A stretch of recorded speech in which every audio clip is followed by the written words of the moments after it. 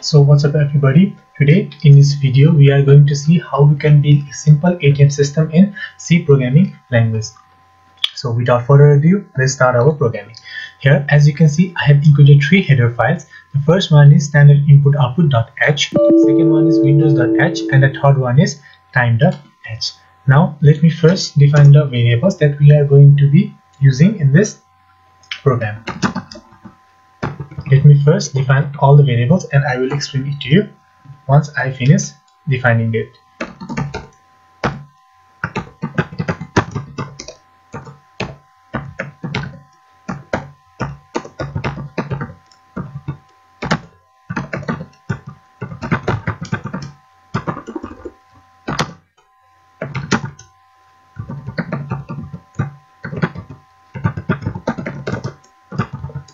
First variable is pin and I have initialized the value to 1 2 3 4 okay this pin will be the default pin of the user and this enter pin is used to store the value of the pin number that is given by the user. And we will check the value of the entered pin is equal to the this pin or not okay?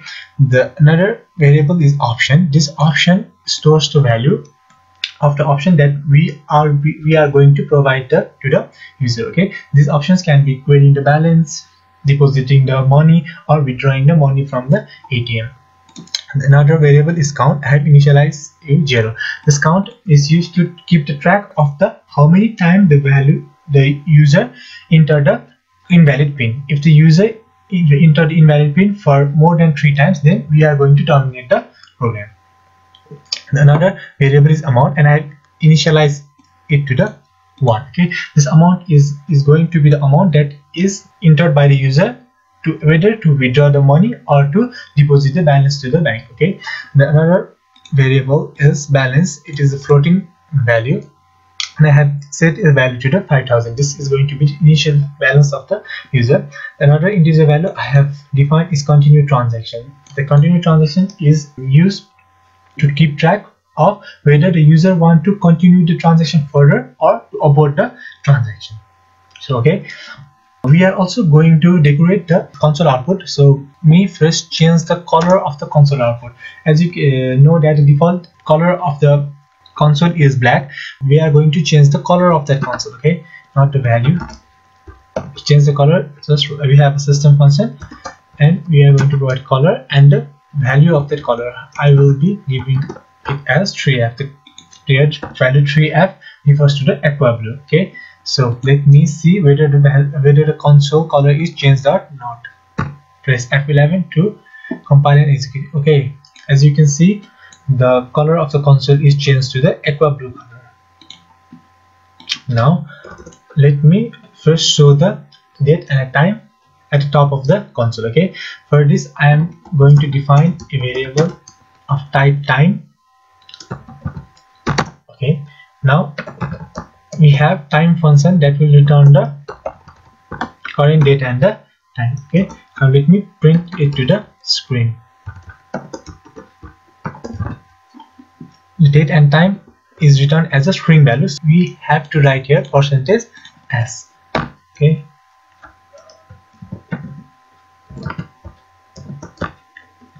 10% now let me see whether it's correct or not. Okay as you can see here the current date and time value is shown in the console okay? Now let me move it to the center of the screen and let me first print it to the new line and let me give some escape sequence here. The slash t is the vertical tab that will give you five spaces okay? And let me give some spaces and let me check it. So as you can see it is okay it is in the center right? Okay now let me print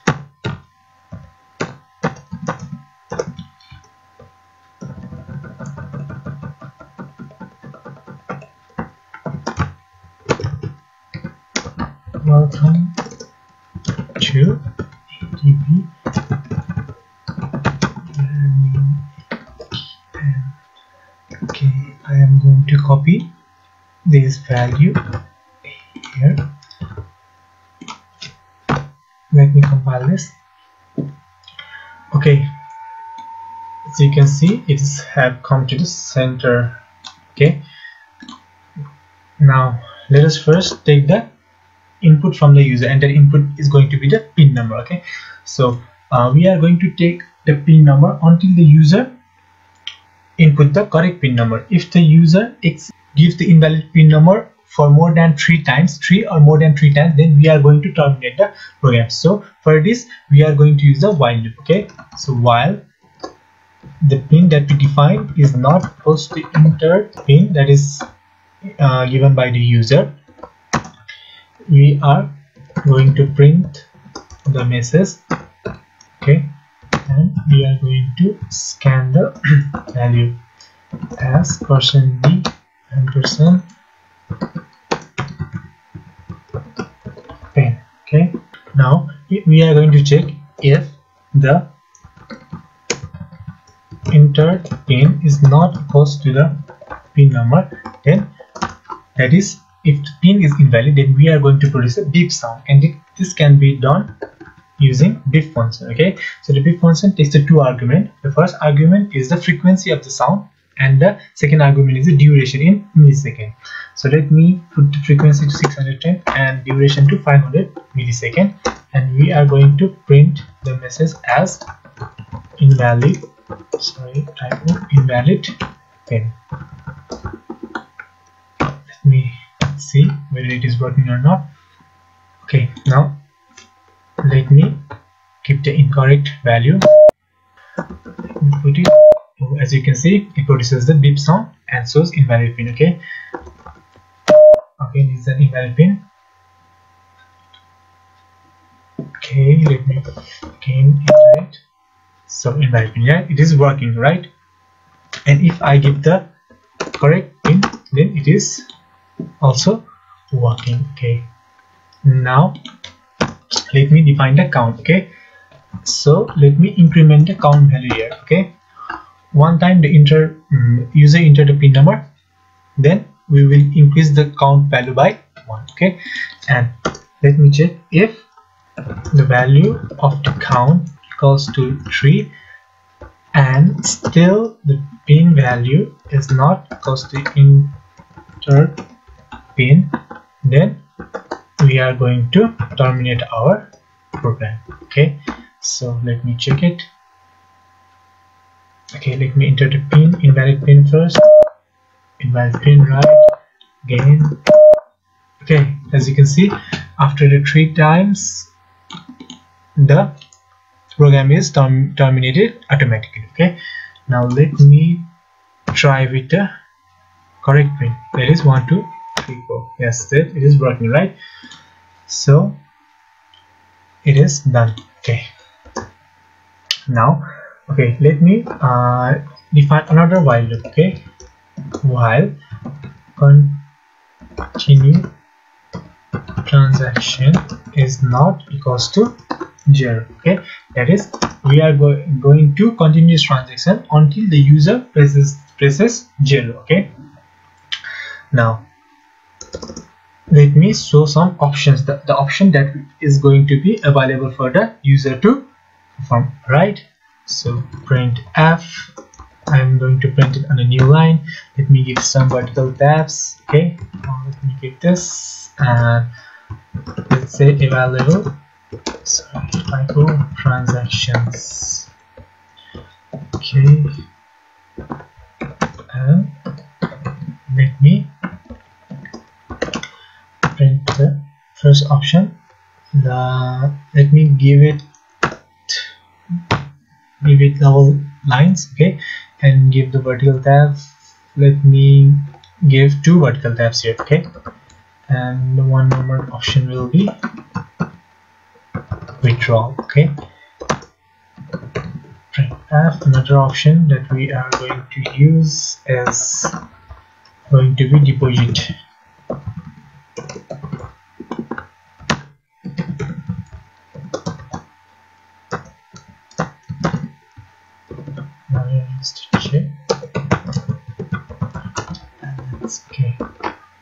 let's see. Let me first enter the incorrect pin. Okay it shows invalid pin. Let me now put the correct pin. Oh sorry. I think there is some mistake here. Okay I think the problem here is that uh, we haven't taken the value continue transaction from the user so it is has gone to the infinite loop so let me remove this. Uh, I will be um, implementing it in the last okay so let me check this. Okay uh, you can see it is working available transaction. Yeah. okay. Okay as you can see it is not in center now. Let me first take the input from the user okay? Print f uh, let me let double space. And give one vertical tab please. Select the option. Okay scan f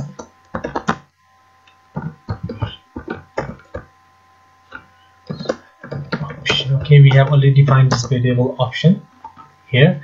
So you can see uh, yeah it is here right okay? The user can either choose one two or three as an option okay? So for this we are going to use the switch statement okay? Switch case.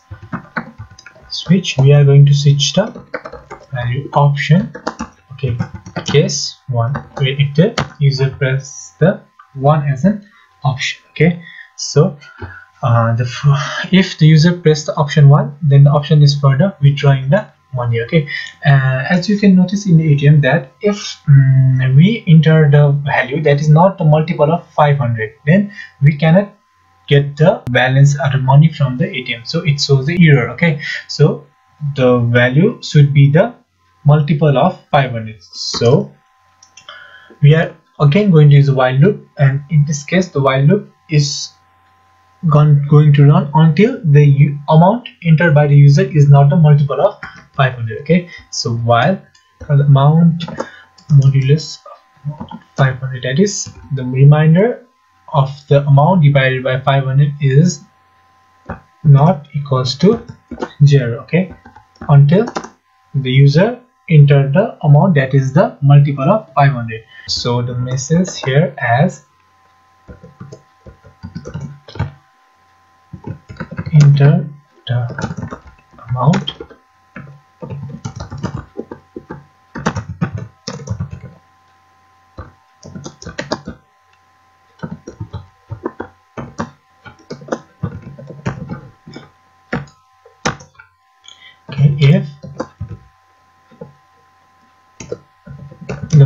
modulus or uh, the remainder of amount is not equals to 0 we are going to display an error message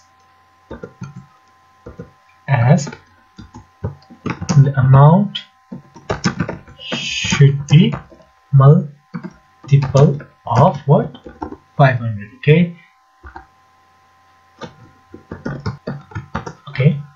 Now another one case here could be if the user entered amount that is less than the available balance okay? That is if balance is less than the amount then we are going to display an error message okay? As sorry okay. And we are going to set the amount value again to 1 okay? Uh, we have initialized the amount value to 1 here. Once the user entered the amount the value of amount is overwritten right? And then again for taking the value here okay we have to reset the value of the amount to one. Uh, otherwise it will take the garbage value okay? Okay this is done after that we are going to break this. Okay? Okay now else. Okay? If the user entered a correct value right? Then what we are going to do else? If the balance is greater than the amount we are going to reduce that reduce the amount from the balance right? And we are going to display the message as you have run rupees percent the year new balance is percent point two okay so it's going to be amount and balance. And we are going to again reset the value to 1 and break okay. So what I have done here is I have reduced the amount that is entered by the user from the main balance okay? And I have enter uh, I have displayed the message as you have withdrawn rupees percent D okay? The percent D is of this amount and your new balance is percentage dot 2f okay? The dot 2f or point 2f means that uh, since the balance is the floating value okay? We are going to display the balance and we are going to display the balance up to two decimal places okay? So if the balance is 5000 then it going to it is going to display as 5000.00 okay? If we don't put dot 2f then it is going to display as 5000.50 okay? Decimal 0 0 0 0 right? Okay so let me check it is working or not. Yes 11 let me enter the pin okay option one withdraw okay let me enter the amount as say 200 it is not a multiple of 500 so it must show that error.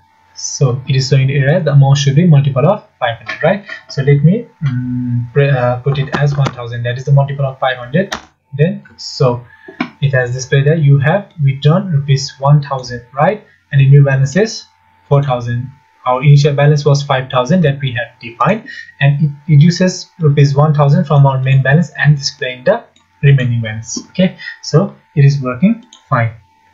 Now let's move to the case 2 that is if the user presses case 2 to deposit the balance i'm going to display the message as please enter the amount right okay uh, let me scan the value of the amount so in this case we have to increase the value of the balance okay? So we have to do balance equals to amount okay? Balance equals to balance plus amount right? And again we are going to reset the value of amount to 1 let's print the message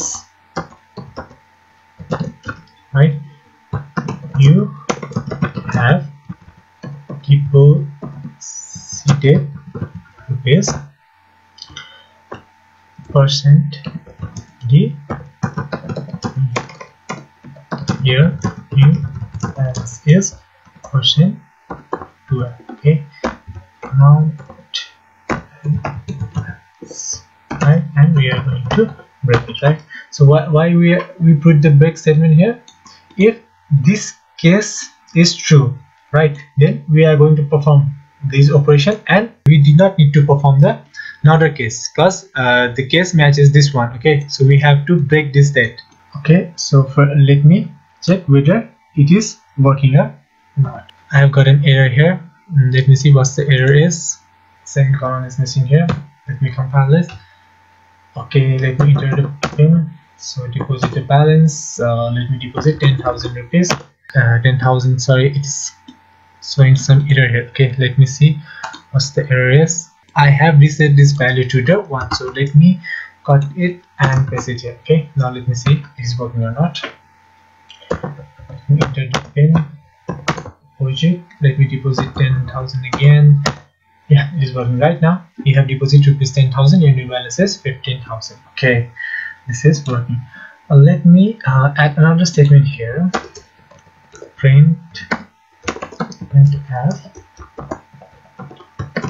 thank you for banking with ADV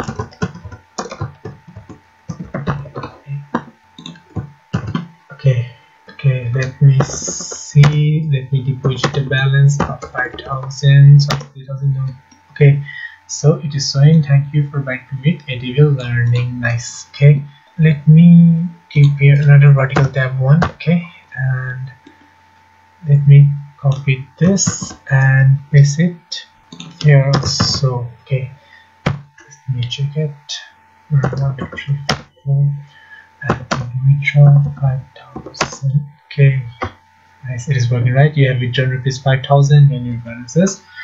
Case 1 and 2 is done okay. Now let me move on to the case 3 that is for query balance okay. This is a simple case we have to simply print this statement as your balance is rupees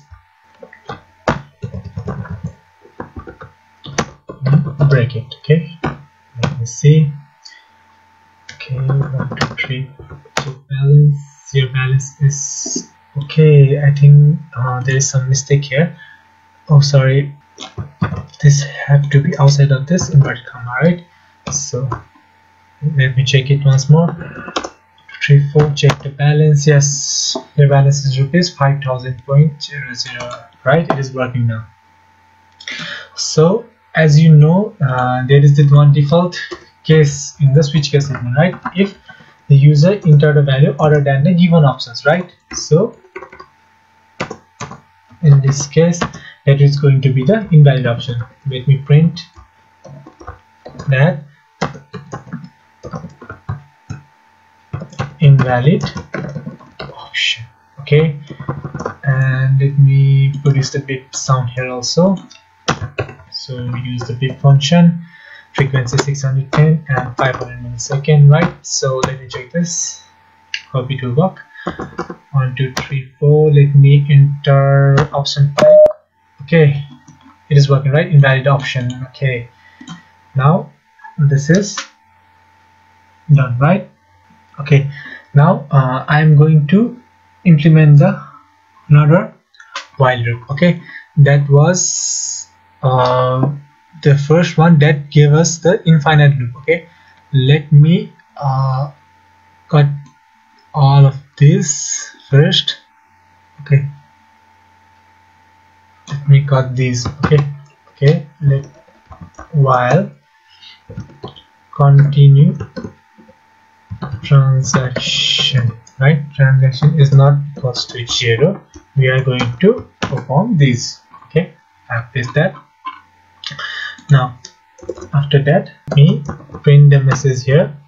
Let me give some vertical tab okay? And write a message.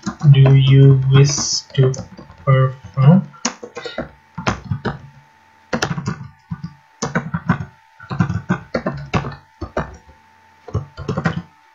press 1 for yes and 0 for no okay? And I'm going to scan the value of the continue transaction.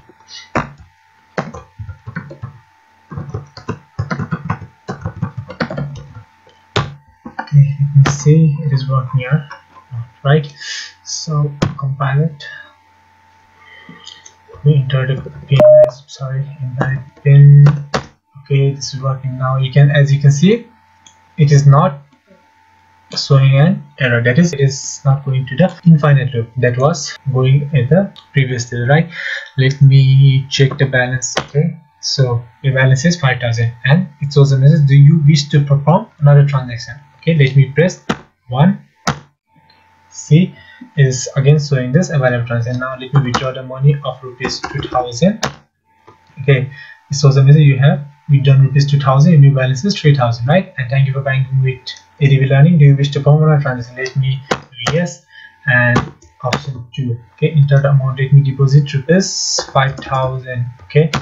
Yeah you have deposit rupees 5000 your new balance is 8000 thank you for buying with ADV learning. Do you wish to perform another transaction?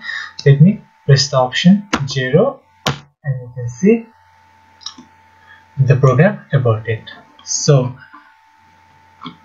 this is it I think so Today we built a simple ATM in C programming language. If you like this video, please like, share and subscribe.